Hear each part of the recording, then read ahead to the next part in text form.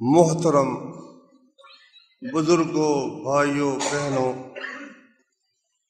صورت الفتح میں اللہ تبارک و تعالیٰ نے مسلمانوں کو بہت سی خوشخبریاں دیں، بہت سی نعمتیں عطا فرمائیں، ان کا وعدہ بھی فرمایا۔ آخر میں مسلمانوں کی یہ ایک خاص شان بیان فرمائی ہے۔ کہ کافروں کے مقابلے میں وہ بہت سخت ہے آپس میں بے حد رحم دل ہے۔ مسلمان مسلمان کے لیے بے حد رحم دل ہے۔ اس کی تربیت کے لیے رسول اللہ صلی اللہ علیہ وسلم نے بہت سے سبق ہمیں سکھائے ہیں۔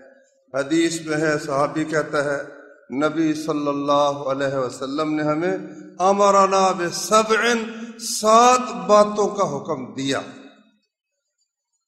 اللہ ذرا غور کرنا کہ ان ساتوں میں سے ہم کس کس پر عمل کرتے ہیں جس سے مسلمانوں کا معاشرہ آپس میں محبت پیدا ہو اور وہ یکجان ہوں۔ وہ ساتوں کی ساتوں چیزیں ایسی ہیں جن سے مسلمان مسلمان کے ساتھ جڑ جاتا ہے، ایک ہو جاتا ہے۔ فرمایا، ہمیں حکم دیا کہ جب کوئی بیمار ہو تو اس کی بیمار کرسی کے لیے جاؤ۔ ہمارے ہاں مدتوں گھر سڑتے رہتے ہیں۔ جب مسجد میں آتے تھے، ملتے تھے، بڑی گرم جوشی تھی۔ اب گھر میں پڑے ہوئے ہیں۔ ہم زحمت ہی نہیں کرتے کہ جا کر پوچھ لیں اس کے غم کچھ ہم بھی شریک ہو جائے اس کا غم کچھ ہلکا ہو جائے۔ اور میں ہمیں حکم دیا، بیمار کی بیمار کرسی کریں، فوت ہو جائے تو اس کے جنازے کے ساتھ جائے اور جب اسے چھینک آئے اور وہ کہے الحمد تو بے پرواہ ہو کر نہ بیٹھے رہے۔ ساتھ ہی اس کو دعا دے، یرحمک اللہ اللہ تم پر رحم فرمائے۔ وہ ایجابت دائی کبھی وہ کسی کام کے لیے بلائیں کہ آؤ بھائی، مجھے تمہاری ضرورت ہے اس کام کے لیے، اس کے بلانے پر جائیں۔ وہ افشا السلام ہے کوئی مسلم، ہم اسے جانتے ہیں یا نہیں جانتے، سب کو سلام عام طور پر کرتے جائیں۔ وہ نثر المظلوم کسی پر اگر ظلم ہو جائے تو ہم اس کی مدد کریں۔ وہ ابرار المقص میں کوئی بھائی اگر اصرار کے ساتھ کوئی کام کہتا ہے، بھائی یہ ضرور ہی کرو۔ حتیٰ کہ قسم ڈال دیتا ہے، قسم ہے تمہیں اللہ کی، میرا یہ کام کر دو، تو کر دیا کرو۔ اگر کوئی رکاوٹ نہیں ہے، کوئی ایسی خطرناک غلط بات نہیں، تو اس کی قسم پوری کر دیا۔ اب دیکھو اس طرح کا اگر معاشرہ ہو، سلام ایک دوسرے کو کہہ رہے بیمار پوچھی کر رہے اور بلاتا ہے تو جاتے ہیں فوت ہوتا ہے تو جنازے پر جاتے ہیں، اس کی چھینک پر بھی اسے دعا دیتے ہیں، ملتے ہیں تو سلام کہتے ہیں۔ اور فرمایا، رسول اللہ صلی اللہ علیہ وسلم نے مامن امرن کوئی بھی بندہ ہو یخل عمران مسلمن کسی مسلمان کو ضرورت ہے کسی مقام پر کہ اس کی مدد کی جائے، اس کی عزت خراب کی جا رہی ہے، بے آبروئی اس کی کی جا رہی ہے، اور یہ بندہ اب اس کی مدد کچھ کر سکتا ہے، پھر نہیں کرتا۔ فرمایا نبی صلی اللہ علیہ وسلم نے، اللہ تعالیٰ بھی ایسی جگہ جہاں یہ چاہے گا نا، میری کوئی مدد کرے۔ یا اللہ تعالیٰ میری مدد کرے، اللہ بھی پھر اس کی مدد نہیں کرے گا۔ تو نے جب اپنے مسلم بھائی کی مدد نہیں کی تو میں تیری مدد کیسے کروں؟ مسند احمد کی حدیث ہے۔ اور اسی طرح سے اگر کوئی آدمی کسی مسلم بھائی کی مدد کرے، جہاں اس کی عزت کا نقصان ہو رہا ہو یا اس کی جان کا نقصان ہو رہا ہو تو اللہ تعالیٰ بھی ایسے مقام پر اس کی مدد کرے گا جہاں وہ چاہے گا کہ کوئی میری مدد کرے۔ اللہ تعالیٰ اس کی مدد فرمائے۔ اور فرمایا رسول اللہ صلی اللہ علیہ وسلم نے، المسلم اخل مسلم مسلم مسلم کا بھائی ہے۔ لا یسلم ہو لا یخل ہو ولا یسلم ہو نہ تو اس کی مدد چھوڑتا ہے، نہ اسے دشمن کے سپرد کر دیتا ہے بھائی جو چاہے دشمن کرتا رہے۔ مجھے اس سے کیا غرض ہے؟ مسلمان مسلمان کے ساتھ ایسا نہیں کرتا۔ المسلم اخ المسلم، مسلم مسلم کا بھائی ہے۔ لا یسلم نہ اسے دشمن کے سپرد کرتا ہے، ولا یخل نہ اس کی مدد چھوڑتا ہے۔ اللہ اکبر۔ ومن کان فی حاجت عقی ہے کان اللہ فی حاجت ہی، جو شخص اپنے بھائی کے کسی کام میں مصروف ہو، اس کا کوئی کام کر رہا ہو، اس کی مدد، اس کی ضرورت پوری کر رہا ہو، اللہ اس کے کام کر دیتا ہے۔ ہم چاہتے ہیں کہ اللہ ہمارے کام سیدھے کرے، ہم اپنے مسلم بھائی کا کام سیدھا کریں گے، اس کی ضرورت پوری کریں گے، تو اللہ تبارک و تعالیٰ ہماری ضرورت، ہماری حاجت پوری کر دے گا۔ جب تک ہم اس کی مدد میں لگے رہیں گے، اللہ تعالیٰ ہماری مدد میں لگا رہے گا۔ یہ رسول اللہ صلی اللہ علیہ وسلم نے فرمایا۔ ومن فرج عن مسلم قربتاً کوئی شخص کسی مسلمان سے کوئی مصیبت ہٹا دے۔ آئی ہوئی تھی اس پر مصیبت آئی تھی۔ اس نے وہ مصیبت ہٹانے کے لیے کوشش کی، محنت کی، اس اس مصیبت کو ہٹا دیا۔ اور میں فرج اللہ عنہ قربت من قرب یوم القیامہ۔ قیامت کے دن کی سختیوں اور مصیبتوں میں سے اللہ تعالیٰ اس مصیبت ہٹانے کے بدلے اس کی مصیبت کو دور فرما دے گا۔ اللہ اکبر۔ آخر میں فرمایا، ومن ستر مسلم ستر اللہ یوم القیامہ جو کسی مسلمان کے عیبوں پر پردہ ڈال دے گا، اللہ تعالیٰ قیامت کے دن اس کے عیبوں کے اوپر پردہ ڈال دے گا۔ رسول اللہ صلی اللہ علیہ وسلم نے فرمایا، اللہ اکبر۔ ایک حدیث ہے، فرمایا نبی کریم صلی اللہ علیہ وسلم ترل مسلمین فی توادہم و تناسرہم و تعاطفہم۔ مسلمانوں کو تم دیکھو گے ایک دوسرے پر رحم کرنے میں، ایک دوسرے پر شفقت کرنے میں، ایک دوسرے کی نصرت اور مدد کرنے میں۔ کل بنیان ایک دیوار کی مانند کہ یشد بعضہ بعضن اس دیوار کی ہر اینٹ دوسری اینٹ کے ساتھ مل کر اسے قوت بخشتی ہے، طاقت بخشتی ہے۔ وہ سب مسلمان اکٹھے ہو کر تو یک جان ہو جاتے ہیں۔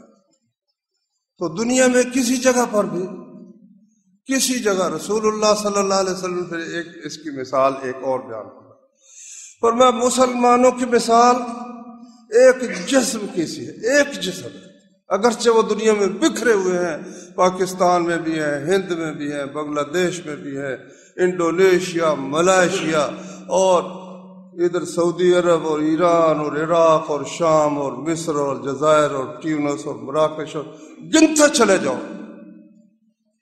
اور میں کل جسد الواحد ہے، یہ ایک جسم ہے۔ ایک جسم ہے رسول اللہ صلی اللہ علیہ وسلم۔ اذا اشتکا عضو منہ تدعا له سائر الجسد بالسہر والحمبہ جسم کے ایک حصے کو اگر تکلیف ہو، پاؤں میں کانٹا چپ گیا ہے، سارا جسم رات بھر نہیں سوتا۔ ہاں جی آنکھوں کو کیا تکلیف ہے بھائی؟ کانٹا تو جو ہے پاؤں میں، زخمی تو ہوا ہے بازو۔ آنسو آنکھ میں سے نکل رہا ہے۔ سبب کیا ہے کہ یہ آنکھ اسی جسم کا ایک حصہ ہے، جس کے دوسرے حصے کو کوئی نہ کوئی تکلیف پہنچی ہے۔ اس کے نتیجے میں آنکھ بھی رات بھر جاگتی ہے۔ جسم سارے کو بخار چڑھ جاتا ہے، سارے جسم کو درد ہوتا ہے۔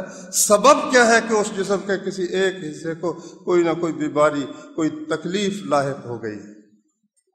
یہ ہے مسلمانوں کا نقشہ جو محمد الرسول اللہ صلی اللہ علیہ وسلم نے کھینچا ہے اور قرآن مجید میں جو اللہ نے فرمایا ہے کہ محمد الرسول اللہ والذین معاہو اشد الکفار کافروں کے مقابلے میں بالکل۔ کافر کے مقابلے میں نہیں۔ روحا ماؤ بہنوں، آپس میں مہربان آپس میں بڑی محبت ہے، بڑی شفقت ہے، ایک دوسرے کی نصرت ہے اور مدد ہے۔ اور یہ دوسرے کی مدد، یہ تو نا مسلمان کی خاص طور پر۔ اگر فی الواقع کوئی مظلوم کو کافر بھی ہے نا۔ مسلمان اس کی مدد بھی نہیں چھوڑتا۔ اللہ نے قرآن مجید میں فرمایا وما لکم، تمہیں کیا ہو گیا؟ لا تو قاتل فی سبیل اللہ ہے تم اللہ کا، کے راستے میں اس کا نام بلند کرنے کے لیے نہیں لڑتے۔ ایک لڑائی یہ ہے، اللہ کا نام غالب کرنے کے لیے دنیا بھر کے، دنیا بھر کے لوگوں سے جنگ کرنا۔ ایک مقصد یہ ہے۔ والمستضعفين من الرجال والنساء والبلدان الذين يقولون ربنا اخرجنا من هذه القرية الظالم اهلها ان کمزور مردوں، عورتوں اور بچوں کی خاطر تم کیوں نہیں لڑتے ان مستضعفین، کمزور اور بے بس مردوں، عورتوں اور بچوں کی خاطر؟ جو کہتے ہیں، اے ہمارے رب، ہمیں اس بستی سے نکال لے۔ جس کے رہنے والے ظالم ہیں، اور اپنی جناب سے ہمیں کوئی مددگار بھیج دے۔ کوئی اپنی جناب سے ہمارا کوئی دوست جو ہم سے محبت کرے بھیج دے، کوئی کوئی ہماری مدد کرنے والا یا اللہ بھیج دے۔ تم ان کے لیے کیوں نہیں لڑتے؟ اب یہاں قابل غور بات یہ ہے کہ ان کمزور اور بے بس لوگوں کے لیے مسلمان ہونے کی اللہ نے شرط نہیں لگائی۔ اگر کوئی مظلوم ہے، کافر ہے اور اس پر کوئی کافری ظلم کر رہا ہے یا مسلمان کر رہا ہے یا کوئی کافر کر رہا ہے، اس کی مدد کرنا بھی ہم پر مسلمانوں پر فرض ہے۔ اب دیکھو دنیا بھر میں سب سے زیادہ مظلوم و مقہور اپنے ہی لوگوں کے ہاتھوں، اپنی قوم کے ہاتھوں۔ شودر سے بڑھ کر کوئی ہے؟ ہندو ہے ہندو ہے، چار ان کی قومیں ہیں۔ برہمن ہے ویش ہے، کھتری ہیں۔ اور شودر۔ شودر ان کی مذہبی کتاب اگر سن لے تو ان کا قاعدہ یہ ہے، دیکھو یہ بھی عجیب، دنیا کا اس سے غلیظ مذہب ہو کوئی نہیں سکتا۔ ہر دین چاہتا ہے کہ میری کتاب ہر بندہ سنے اور اس میں شامل ہو۔ یہ کہتے ہیں ہماری جو مقدس کتاب ہے، سوائے برہمن کے کوئی سنے ہی نہیں۔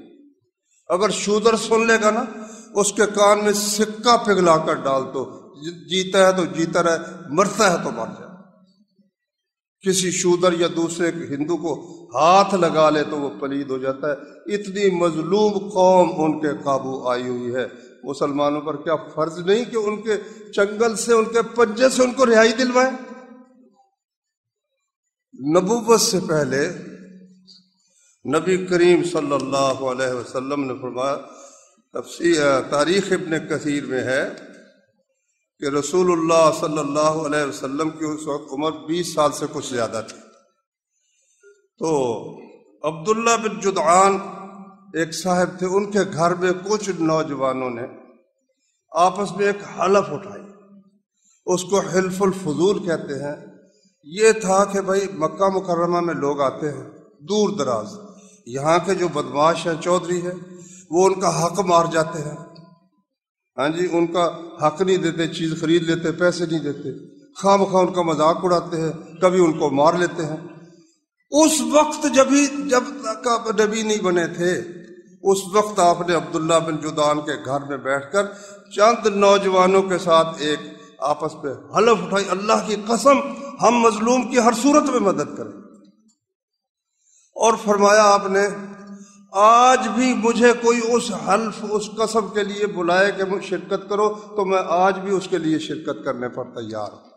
رسول اللہ صلی اللہ علیہ وسلم نے سیرت کی کتابوں میں لکھا ہے، ایک بندہ آیا مکے میں، کیونکہ مکہ بہت بڑی منڈی تھی، تمام دنیا سے لوگ آتے تھے۔ اونٹ لایا کچھ، اونٹ اس نے فروخت کیے۔ ابو جہل نے وہ اونٹ خرید لی چودھری تھا، وہ بدماش تھا، بڑا فرعون تھا۔ پیسے ٹال مٹول کرنے لگ گیا، ٹال مٹول۔ پھر اس نے کچھ اس قسم کا بھی کہہ دیا بھائی، جو مرضی کر لے بھائی۔ اب وہ ایک بندے کے پاس گیا، یار میری مدد کرو۔ دوسرے کے پاس گیا، میری مدد کرو۔ تو مذاق کے لیے نا، کسی نے چھیڑنے کے لیے اسے کہا محمد کے پاس جاؤ۔ آپ اس وقت نبوت کا اعلان کر چکے تھے۔ محمد کے پاس جاؤ، ان سے کہو کہ یہ تمہیں پیسے تمہیں دلوا سکتے ہیں۔ اس کو کیا خبر کہ یہ مجھ سے مذاق کر رہے ہیں یا کیا کر رہے ہیں؟ وہ خیر گیا نبی صلی اللہ علیہ وسلم کے پاس کہ جی اس طرح اس نے امر بن حشام اس کا نام تھا امر بن حشام ابو جہل کا نام۔ اس لیے آپ نے فرمایا تھا کہ یا اللہ، یہ دو جو عمر ہے نا، ایک عمر بن خطاب اور ایک عمر بن حشام، جو تجھے ان میں سے زیادہ پیارا ہے نا، وہ مجھے دے دے۔ تو اللہ نے دوسرے دن ہی عمر بن خطاب رسول اللہ کو دے دیا، صلی اللہ علیہ وسلم۔ اس کا نام عمر بن حشام تھا۔ خیر، گئے، دروازہ کھڑکایا۔ کہتا، کون؟ کہتا ہے میں محمد ہوں، ذرا باہر نکلو۔ بڑا ویسے پاٹے خان تھا، لیکن سیرت کی کتابوں میں لکھا ہے کہ نکلا نا، رنگ چہرے پر خون کا قطرہ نظر نہیں آتا، پیلا رنگ اور ڈرا ہوا۔ ہاں جی کیا بات ہے؟ فرمایا بھی اس کا تم نے اونٹ لیے ہیں تو دو پیسے دو نا۔ کہتا جی میں ابھی دیتا ہوں۔ اندر گیا، آ کر پیسے دے دیے۔ واپس گیا اور جو جنہوں نے بھیجا تھا، وہ انتظار میں تھے بھی، کیا ہوتا ہے؟ ہاں سناؤ۔ کہتے اللہ تمہیں جزائے خیر دے، تم نے ایسا بندہ بتایا کہ اس نے جا کر بات کی ہے تو اس نے دوسری بات ہی نہیں کی، فوراً مجھے پیسے لا کر اس نے دے دی نبی کریم صلی اللہ علیہ وسلم کی پوری زندگی اس کی مثال ہے۔ میں نے آپ کو پیچھے سنایا بھی تھا کہ مدینہ منورہ کے یہودی بنو قین کا ایک عورت کی عزت خراب کرنے کے ارادے سے اس نے اس کی پردہ دری کی پردہ کھول دیا۔ ابھی نبی صلی اللہ علیہ وسلم پاس نہیں تھے۔ نبی کا ایک پروانہ تھا، اس نے اس کی گردن اتار یہودیوں نے اسے قتل کیا تو نبی صلی اللہ علیہ وسلم نے گھیرا ڈال دیا۔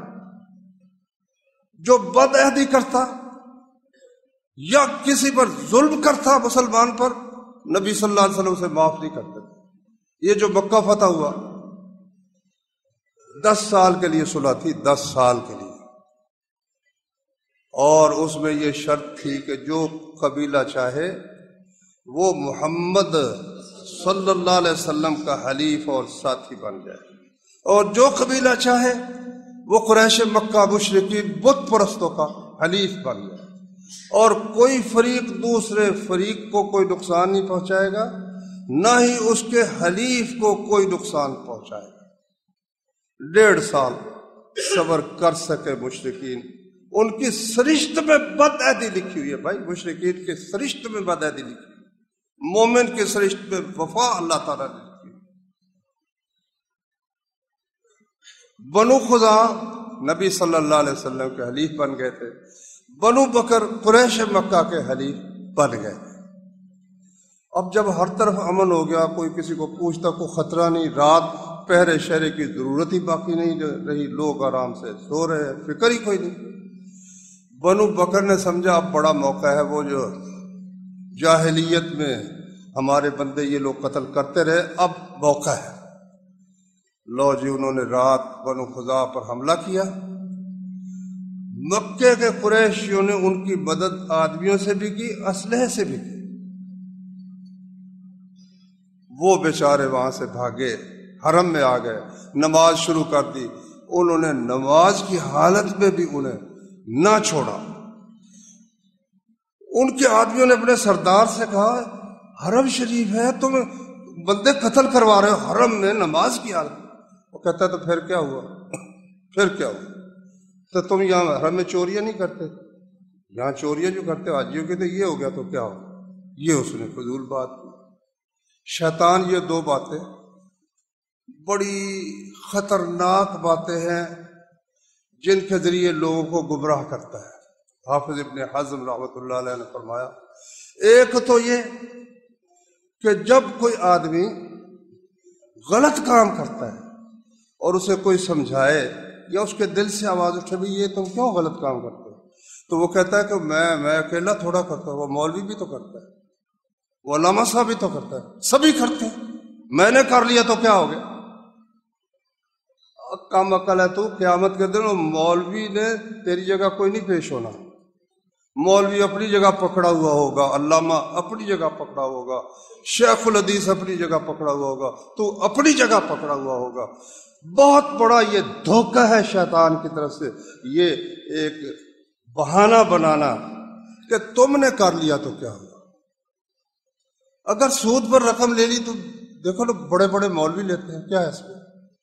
داڑھی اگر کترا لی تو بڑے بڑے اللہ میں کتراتے تم نے کترا لی تو کیا ہوا وہ بچ گئے تو ہم بھی بچ گئے۔ بہت بڑا دھوکہ۔ ہے دوسرا بہت بڑا دھوکہ یہ ہے کہ وہ انسان کو کہتا ہے، اگر کہے نا، بندہ، یار تو یہ غلط کام کرتا ہے۔ تو کہتا ہے، کیا ہوا؟ تو فلانا فلانا بھی تو غلط کام کرتا ہے۔ اگر وہ وہ کرتا ہے تو یہ کر لیا تو کیا ہوگا؟ نہ، یہ دونوں باتیں بھائیوں بہت غلط۔ ہے تو بنو بکر کے اس سردار کو لوگوں نے کہا اور حرم میں بندے قتل کروا رہے ہو؟ اس نے کہا، تو چوریاں بھی تو تم کرتے ہو نا؟ حرم شریف میں حاجیوں کا مال چرا کے لے جاتے ہو، بندہ قتل ہو گیا تو کیا؟ اللہ اکبر، ان کا ایک وفد رسول اللہ صلی اللہ علیہ وسلم کے پاس گیا، بنو خدا کا۔ جا کر فریاد کی، یا رسول اللہ، انہوں نے ہمیں حرم میں بھی نہیں چھوڑا، انہوں نے ہمیں سجدے کرتے ہوئے، نماز پڑھتے ہوئے قتل کر دی فرمایا، تمہاری مدد کے لیے میں آ رہا اور اللہ سے دعا کی، یا اللہ، جاسوسوں کو روک دے۔ ان کو خبر نہ ہو کہ ہم حملے کے لیے آ رہے ہیں۔ کیونکہ اگر تیاری کریں گے تو لڑائی میں خون زیادہ بہے گا۔ تو تیاری کر لی۔ دس دس ہزار کا لشکر لے کر، دس ہزار کا لشکر لے۔ نبی صلی اللہ علیہ وسلم تشریف لائے۔ مکہ فتح ہو گیا۔ قصہ بہرحال کئی دفعہ میں نے سنایا ہے اور سیرت کے قصے پرانے مجید کے واقعات اور آیات، یہ کبھی پرانی ہوتی نہیں ہے جتنی دفعہ ان کو بیان کرو، نئے سے نئے نئی سے نئی لذت اس پہ اللہ تعالیٰ نے رکھی ہوئی ہے۔ تو دیکھ لو، نبی صلی اللہ علیہ وسلم نے برداشت نہیں کیا، مکہ کو فتح کر لیا۔ آپ نے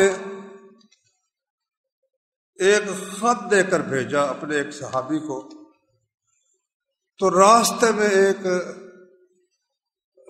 ریاست تھی سمجھ لو، اس کے جو بادشاہ تھا، اس نے انہیں سفیر کو قتل کر دیا۔ اب نبی صلی اللہ علیہ وسلم سے یہ برداشت نہیں ہوا کہ ان کا سفیر قتل ہو۔ آپ زیادہ سے زیادہ سب سے بڑی تعداد جو مہیا کر سکتے تھے جو اس سے پہلے مہیا ہوئی نہیں تھی۔ خندق میں بھی کل بعض کہتے تین ہزار مسلمان تھے، لیکن صحیح بات یہ ہے کہ وہ ایک ہزار تھے۔ صلح حدیبیہ میں بھی کتنے تھے؟ چودہ سو تھے۔ تین ہزار بندے تیار کیے اور ان کا امیر اس شخص کو مقرر کیا جسے اپنا بیٹا پہلے بنایا ہوا تھا۔ پھر اللہ کے حکم سے اسے زید بن حارثہ کہنا شروع کیا۔ پہلے اسے زید بن محمد کہتے تھے۔ کہا، اگر یہ شہید ہو جائے تو یہ میرا بھائی ہے، چچے کا بیٹا عبداللہ بن جعفر۔ یہ امیر ہوگا۔ یہ بھی شہید ہو جائے تو عبداللہ بن رواحہ ہوگا۔ جب اس علاقے میں پہنچے، حکم یہ دیا کہ ان کو کچل کر تم لے آنا۔ اگر سب سے پہلے اسلام کی دعوت دو، مسلمان ہو جائے، ہماری ان کی جنگ ختم ہے، ٹھیک ہے، ہمارے بھائی۔ اگر انکار کرے تو کچل کر آ جاؤ۔ کچلنا کیا تھا جب وہاں پہنچے؟ تو ایک لاکھ عرب کٹھے ہو گئے تھے اور ایک لاکھ ہی ان کو ہرقل عیسائیوں کی مدد ہو گئی دو لاکھ کا لشکر کٹھا ہو چکا تھا۔ اب تین ہزار کہاں اور دو لاکھ کہاں؟ ایک ایک بندے کے مقابلے میں چھیاسٹھ آدمی آتے چھیاسٹھ بندے۔ اور لڑائی کو یہ نہیں کہ بندوق چلانی ہے تو وہ چھٹا پھر جانا ہے۔ یہی تیر تلوار کی لڑائی ہے، بازو کشتی کی لڑائی۔ مسلمانوں نے مشورہ کیا۔ کہ واپس چلے جاتے ہیں۔ عبداللہ بن روا نے پھر ایک تقریر کی۔ سیرت کی کتابوں میں ان کی تقریر آتی ہے۔ انہوں نے کہا لوگوں ہماری لڑائی قلت و کثرت کے ساتھ نہیں کہ ہم کم ہیں اور وہ زیادہ ہے ہم ہمیشہ ہی کم ہوتے ہیں تو اللہ تعالیٰ ہمیں غلبہ عطا کرتا ہے۔ اور دوسری بات یہ ہے کہ ہم آئے ہیں جنت کی تلاش۔ ہمارا ہر کام جنت کی تلاش کے لیے ہے۔ دنیا کی زندگی تو ختم ہونے والی ہے بھائی۔ موت تو ہر شخص کو آنے والی ہے۔ تو سودا مل رہا ہے بھائی۔ دکان سجی ہوئی ہے۔ سودا شہادت کا مل رہا ہے۔ ہم کس طرح واپس چلے لو سارا لشکر تیار ہو پوری طرح سمجھ نہیں آتی انہوں نے کیا کیا۔ بس انہوں نے ہلکا باندھ لیا۔ اور دو لاکھ کے ساتھ جنگ تیار شروع کر دی۔ مسجد نبی میں بیٹھے ہوئے محمد الرسول اللہ صلی اللہ علیہ وسلم۔ اللہ تعالیٰ میدان جنگ کر نقشہ ان کے سامنے رکھے ہوئے ہیں۔ آنکھوں سے آنسو بہ رہے فرمایا، اب زید بن حارثہ شہید ہو گئے۔ کچھ دیر کے بعد فرمایا، اب اب جعفر بن ابی طالب حضرت علی کے بھائی وہ بھی شہید ہو گئے۔ پھر فرمایا کہ اب عبداللہ بن روا بھی شہید ہو گئے۔ پھر کہا کہ اب اللہ کی تلواروں میں سے ایک تلوار نے جھنڈا پکڑ لیا ہے۔ اور اللہ نے ان کے ہاتھ پر مسلمانوں کو فتح عطا فرما دیا یہ بخاری شریف کی حدیث ہے۔ اچھا سیرت کی کتابوں میں ذرا اس کو اور انداز سے بیان کیا۔ ہے وہ یہ ہے کہ جب خالد بن ولید رضی اللہ عنہ امیر بنے، تو ایسی بے جگری سے لڑے۔ وہ کہتے ہیں کہ نو تلواریں میرے ہاتھ میں، اتنے زور سے مارتے کہ تلوار ٹوٹ جاتی۔ آخر میں ایک چوڑی تلوار تھی بگدے جیسی۔ کہتے یمن کی بنی ہوئی تھی، وہ بچی ٹوٹنے سے باقی نو تلواریں میرے ہاتھ سے ٹوٹ گئی۔ اور انہیں ساتھ ہی اللہ نے کیا سمجھ عطا کی تھی۔ فوراً پوزیشنیں بدل دینے کا حکم دیا۔ ہر مجاہد کو حکم دیا کہ پوزیشن بدل کر دوسری طرف چلا جائے۔ اب وہ لوگ جو اب تک لڑ رہے تھے اور مسلمانوں کی تلوار کی تیزی اور اس کی جو کڑواہٹ ہے، اس کا مزہ چکھ چکے تھے۔ انہیں یک لکھ دیکھا کہ بندے اور آ گئے۔ ان کے دل میں اللہ نے روپ ڈال دیا کہ لشکر پیچھے سے ان کی مدد کو پہنچ چکا بس ہمت ٹوٹ گئی۔ ادھر اب ان تین ہزار کو بچانا کوئی چھوٹا کام نہیں تھا۔ دو لاکھ سے۔ خالد بن ولید نے حکم دیا، بھائی پسپا اختیار ایک طرف نکلو۔ نکلتے گئے نکلتے گئے۔ دو لاکھ کا لشکر منہ دیکھتا رہ گیا، آگے بڑھ کر پکڑ لے جرفت نہیں ہوئی، اللہ کی قسم۔ چودہ بندے صرف مسلمانوں کے شہید ہوئے، باقی سب اللہ نے بچا یہ فتح ہے کہ نہیں فتح؟ کوئی کہے جی نہیں، وہ مسلمان پیچھے ہٹے پیچھے ہٹا مزہ چکھا کر آئے نا۔ مگر رسول اللہ صلی اللہ علیہ وسلم کے دل سے وہ بات نکلی نہیں۔ وفات کے سال آپ نے پھر زید کے بیٹے اسامہ کو جھنڈا باندھ کر دیا اور لشکر تیار کر کے دیا کہ وہیں پر جاؤ۔ پھر اسلام کی دعوت دو۔ مسلمان ہو جائے ٹھیک ہے، ورنہ ان کو کچل کر آؤ جھنڈے کا لشکر لشکر کا جھنڈا باندھ دیا، اسامہ کو امیر مقرر کر دیا۔ اتنے میں آپ بیمار ہو گئے۔ تو اطلاع، یہ لشکر نکل چکا تھا مدینے سے، ان کو اطلاع ملی تو وہیں ٹھہر گئے۔ رسول اللہ صلی اللہ علیہ وسلم فوت ہو گئے۔ اب ہر طرف سے خبریں آنے لگی بھی، وہاں بھی بغاوت ہو گئی، وہاں بھی بغاوت ہو گئی۔ سب نے مشورہ دیا حضرت ابو بکر خلیفۃ المسلم ان کو کہ مدینہ خالی نہ کرو، یہ کل جو ہماری پونجی ہے، اتنی تعداد مسلمانوں کی، یہ مدینے کی حفاظت کے لیے رہنی چاہیے، ان کو نہ بھیجو۔ وہ کیا اللہ نے ان کو سمجھ دی تھی۔ کہتے ہیں یہ جھنڈا اپنے ہاتھ سے باندھا ہے حضرت محمد صلی اللہ علیہ وسلم اب ابو بکر اس کو کھول نہیں سکتا۔ یہ جائے ہی جائے گا۔ اچھا لشکر چلا گیا۔ بجائے اس کے کہ دشمن حملہ آور ہوتے، پورے عرب میں دھاک بیٹھ گئی کہ ان کی کوئی بہت بڑی تعداد مدینے میں موجود ہے جو انہوں نے اتنی بڑی تعداد کا لشکر نکال دیا ہے۔ میرے بھائیوں میں نے یہ ساری بات جو سنائی ہے آپ خوب سمجھ رہے ہیں۔ کشمیر کو انہوں نے ذبح خانہ بنا دیا، ذبح خانہ۔ دس دس آدمی ایک بندے پر مقرر ہیں۔ اور آج اٹھارہواں دن ہے۔ پندرہواں دن ہے یعنی پانچ اگست کو ہوا ہے، آج ہے تیئیس، اٹھارہواں دن ہے۔ کرفیو لگا ہوا ہے، انٹرنیٹ بند ہے۔ کوئی خبر باہر نہیں جا رہی۔ ہے جو چھن چھن کر آتی ہے وہ آپ سنتے رہتے کس طرح اور ان کا اب منصوبہ یہ ہے کہ ان کو اسپین کی طرح تھے، اندلس کی طرح مسلمانوں کو تہ طے کر دیا جائے۔ چھپاتے بھی نہیں ہیں۔ انہوں نے کہا کہ ہم ہندوؤں کو بسائیں گے، کشمیری کے لڑکیوں کو ہم اپنی بہو بنائیں گے۔ بھائیوں وہ جو اللہ نے کہا ہے، تم اللہ کے راستے میں کیوں نہیں لڑتے؟ وہ بے بس مسلمان نبے فیصد ہمارے بھائی ہیں بھائی۔ ضرور میری بیٹی کو آ کر کو ہاتھ ڈالے تو میں اٹھوں گا۔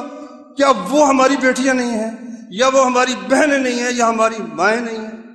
نہیں، ہم نے یہی سمجھا ہے، وہ کشمیر کی ہمارا ان سے کیا تعلق ہے؟ نہیں بھائی جان، کرنا پڑے گا، ورنہ آپ بھی آزادی کے نعمت سے اس طرح فائدہ نہیں اٹھا سکے تبھی یہ فائدہ اٹھا سکیں گے کہ ہند کے مسلمانوں کی مدد کی جائے، صرف کشمیر نہیں ہند کو پھر اسی طرح سے مسلمانوں کے ماتحت رکھا جائے، جس طرح کہ ایک ہزار سال تک اللہ کے فضل سے مسلمانوں نے کم تعداد میں ہونے کے باوجود یہاں پر سکہ اپنا جمائے رکھا ہے، اسلام کا غلبہ جمائے رکھا ہے۔ اس کے لیے راستہ ڈھونڈنے والوں کے لیے کوئی مشکل نہیں ہوتا۔ مجھے بتاؤ، جب افغانستان میں جنگ ہوئی، دنیا بھر میں روس نے ہر مسلمانوں کے ملک پر وہ ظلم ڈھا رکھا تھا نا۔ یعنی سرخ اندھیرا کر رکھا تھا۔ مصر میں بھی، پاکستان میں بھی اس کا طوفان آیا تھا۔ پیپل پارٹی کی صورت میں، سوشلزم کی صورت میں۔ دین کا مذاق اڑانا، مولویوں پر پھپتیاں کسنا۔ اور ان ملکوں میں، شام میں، عراق میں، مصر میں تو حد سے بڑھ گیا۔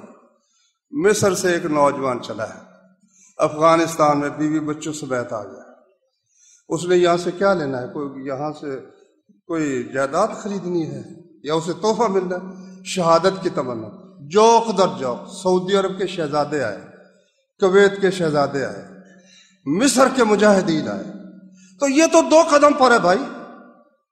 انشاءاللہ آپ تلاش کریں کہ کس راستے سے ہم جا سکتے آپ کو ورستہ ملے گا۔ جب مصر والوں کو مل سکتا ہے، افغانستان میں آنے کا راستہ۔ درمیان میں وہ ہیں، پاسپورٹ بھی ہے، ویزے بھی ہیں، مشکلات بھی ہیں، پہرے بھی لگے ہوئے ہیں۔ جب دنیا بھر کے مجاہدین افغانستان میں آ سکتے ہیں، تو مسلمان پاکستان کے کشمیر میں کیوں نہیں جا سکتے؟ جاتے رہے ہیں۔ ہندو، میں نے اس کی تقریر سنی مودی کی۔ اس نے کہا، ایک ہزار سال سے ہمیں وہ چوٹ نہیں لگی جو کشمیر میں ہمیں چوٹ لگ رہی ہے۔ یہ اس نے خود تسلیم کیا۔ وہ جو کشمیر میں چوٹ لگی ہے، کس نے لگائی ہے بھائی بتاؤ؟ کس نے لگائی ہے؟ پاکستانی فوج نے لگائی ہے۔ مجاہدین نے لگائی ہے۔ مجاہدین اب بھی ہیں۔ اگرچہ ان پر پابندیاں ہیں، لیکن اگر اب ڈھونڈو گے نا، انشاءاللہ مل جائیں گے۔ وہ تربیت بھی حاصل کرو اور یہ سمجھ کر کہ میں اپنی بیٹی کی اپنی بہن کی پکار پر جا رہا ہوں، اپنے مظلوم مسلم کی مدد کے لیے جا رہا ہوں۔ انشاءاللہ کشمیر فتح ہوگا، دروازہ کھل جائے گا ہند کا۔ یہ باب الہند ہے اور فضیلت اس کی سنن نسائی میں رسول اللہ صلی اللہ علیہ وسلم نے بیان فرمائی۔ میری امت کی دو جماعتیں ہیں۔ اللہ نے ان کو آگ پر حرام کر دیا ہے، آگ سے محفوظ کر دیا ہے۔ ایک وہ جماعت جو ہند سے لڑائی کرے گی اور ایک وہ جماعت جو عیسیٰ بن مریم علیہ السلام کے ساتھ ہوگی۔ پتہ بات اس کی کیا ہے؟ یہ جو مودی ہے اور اس کا جو ہے سیکنڈ امیت شاہ ہے یا کیا اس خبیص کا نام ہے، یہ ہندو توا کے نام پر کہ کروڑوں جو خدا ہیں ان کو منوانے کے لیے، ہندو مذہب کو غالب کرنے کے لیے یہ لڑ رہے ہیں۔ تو مسلمان کو اللہ کا نام سر بلند کرنے کے لیے نہیں لڑنا چاہیے۔ اتنی بے عقلی کی بات کہ کروڑوں خدا ہے ہماری بات تو بالکل فطرت کے مطابق ہے اور حق ہے کہ خدا ہے، اللہ ہے تو صرف ایک ہے۔ دوسرے کی بات حرام ہے۔ اس اللہ کی خاطر بدر میں ایک طرف علی رضی اللہ تعالیٰ تھے، ایک طرف ابو جہل تھا۔ لڑائی ان کی کسی مال دولت پر نہیں تھی، صرف اللہ کے، ایک اللہ کہ ایک اللہ کی عبادت کرنی ہے یا لاکھوں کروڑوں کی کرنی اس پر وہ جنگ تھی، اسی پر یہ جنگ ہے۔ اللہ تعالی ہمیں اپنے راستے میں جہاد کرنے کی توفیق عطا فرمائے۔ اللہ تعالیٰ یا تو دنیا میں ہمیں سر بلند رہنے کی نعمت عطا فرمائے، یا اللہ ہمیں شہادت سے سرفراز فرما کر ہمیشہ کی جنتوں کی دولت عطا فرمائے۔